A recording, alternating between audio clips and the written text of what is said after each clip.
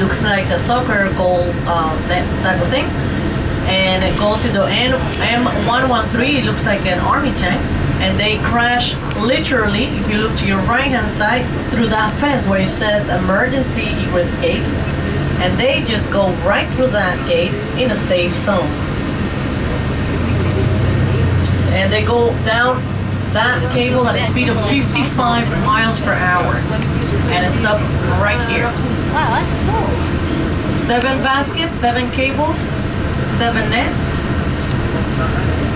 And stuff right there. It's only been used for emergency only, thank God. Never been used for the actual thing.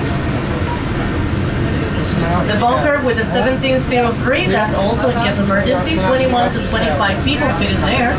They have uh, oxygen mask, food, uh, water supply, all kinds of different things in case of that emergency.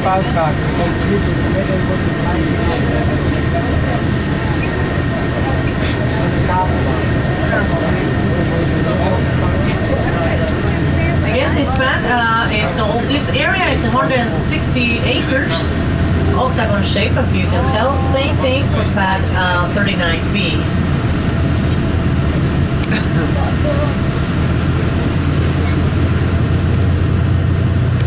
this uh, little area right here, uh, it's for the monomethyl hydrazine, very deadly gas, and used uh, for the maneuvering system also for the shuttle.